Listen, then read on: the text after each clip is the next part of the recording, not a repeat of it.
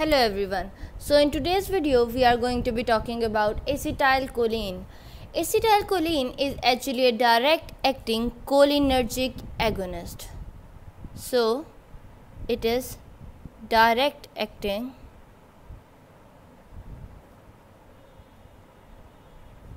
cholinergic agonist which mean it directly bind to cholinergic receptors and increase their response. In this way, what will happen? There will be increase in the acetylcholine response which is being declined because of some uh, diseased condition. So acetylcholine itself is a drug which is administered into the patient body so that the decreased amount of natural acetylcholine in the nerve terminals could be increased. So acetylcholine is actually a quaternary ammonium compound.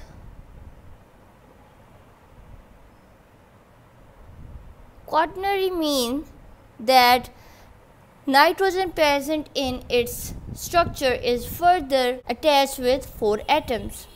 So it is quaternary ammonium compound and it cannot penetrate membrane.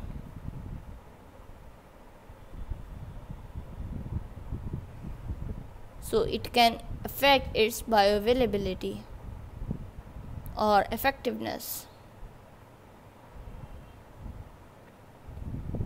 Although it is a neurotransmitter of parasympathetic and somatic nerves as well as autonomic ganglia, it actually lacks therapeutic importance because of multiplicity of actions and its rapid inactivation by cholinesterase. So it is not much therapeutically important agent because it has multiple effects on other parts of body. Other than that it is inactivated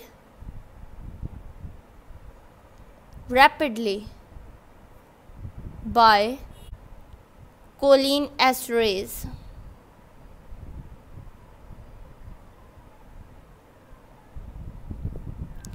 and it has multiple actions on body leading to diffuse effect. If we talk about its action it has activity on both muscarinic and nicotinic receptors. So it can bind to both muscarinic and nicotinic receptors. If we talk about its action on different organs, so if we talk about heart, the action of acetylcholine on heart mimic the effect of vagal stimulation. Now vagal stimulation is actually parasympathetic response. When there is stimulation of vagal nerve it means there is dominance of parasympathetic nervous system. And what it means is that there is decrease in heart rate.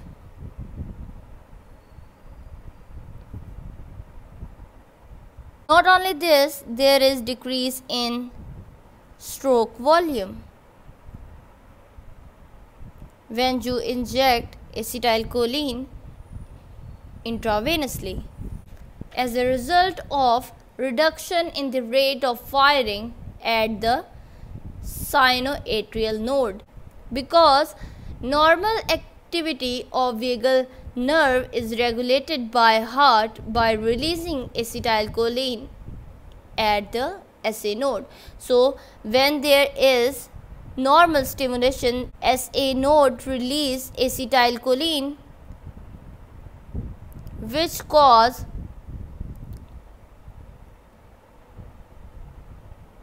decrease in heart rate and decrease in stroke volume.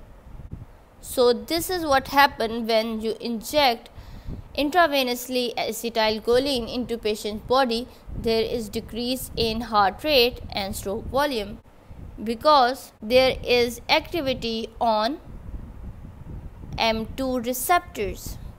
So this is because of M2's receptors which actually decrease the heart rate. Now the next action is on blood pressure.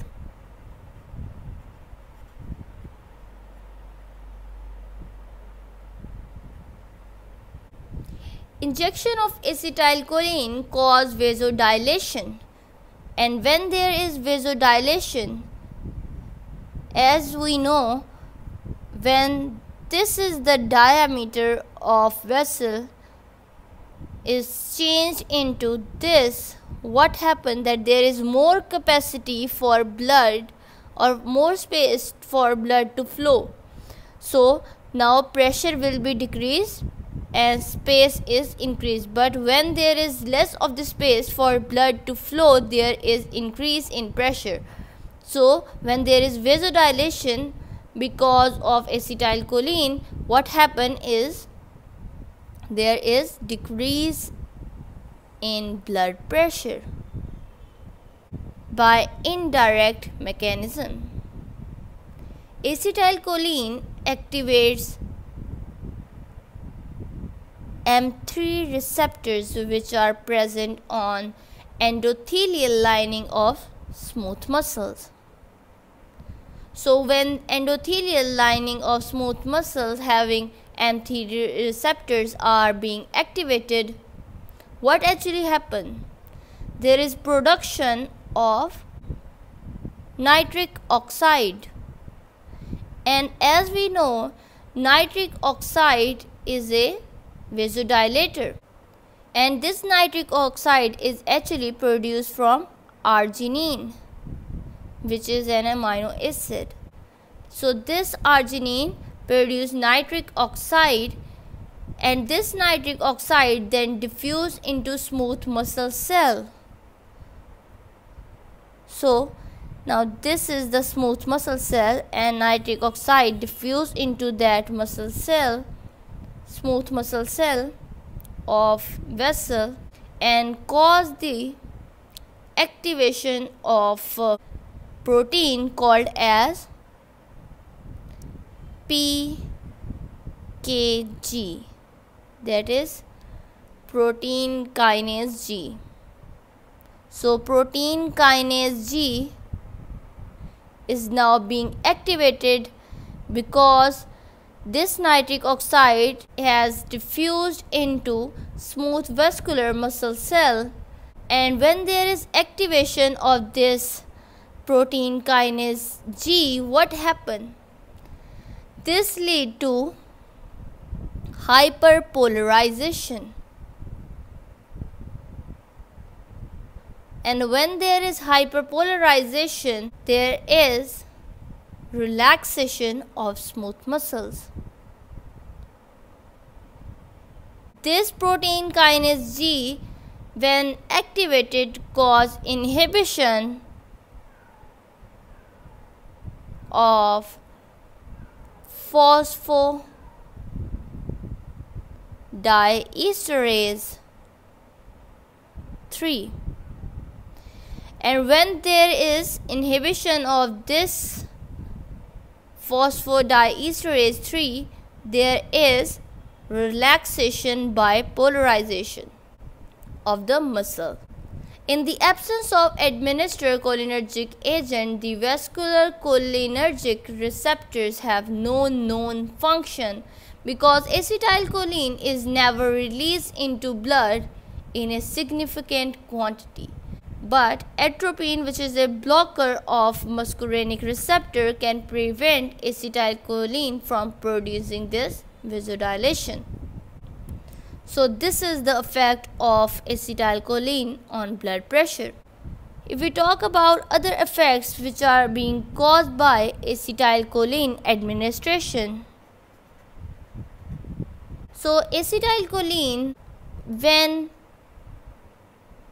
goes into GI tract, it has certain effects such as increase in salivary secretions. Not only this, it also stimulates intestinal secretion and motility. And motility is also being increased because of acetylcholine effect on GI tract. Also enhances bronchial secretions. Also increase bronchial secretions which are such as mucus. Urinary tract acetyl can increase the tone of muscles which can lead to urination. So it can cause urinary urgency.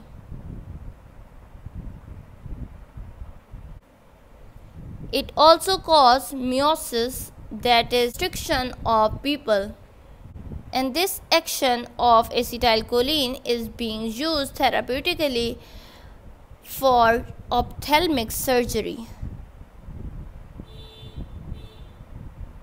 In ophthalmic surgery, 1% solution of acetylcholine is being administered into patient's eye so that there could be could be effect of miosis. So if we talk about the adverse effects which are being caused by this acetylcholine so adverse drug reactions include diarrhea. As we have talked over here that it increased motility and increase intestinal secretion so it can lead to diarrhea. Not only this it can also lead to diaphoresis that is sweating. When it is a side effect of some drug it is not called as sweating but it is called as diaphoresis because it is different than that of normal sweating because it is an adverse effect of some drug it can cause unnecessary miosis if it is taken intravenously. It can also cause nausea and urinary urgency, which we have talked over here, because it can increase muscle tone of the bladder. Therefore, it can cause urinary urgency. So this was all about pharmacology of acetylcholine. If you have any question, let me know in the comment section below. And thank you for watching my videos.